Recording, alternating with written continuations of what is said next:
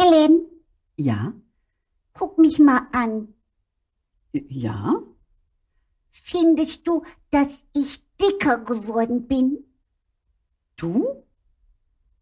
Nein, warum denn? Weil ich jetzt immer mitessen muss. Was musst du? Na, die Leni, die will doch immer nicht essen.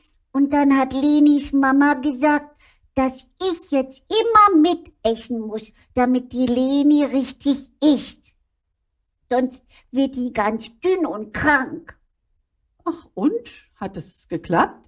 Oh ja, wenn wir, wenn ich damit am Tisch sitze, dann isst die wie ein Scheunendrescher.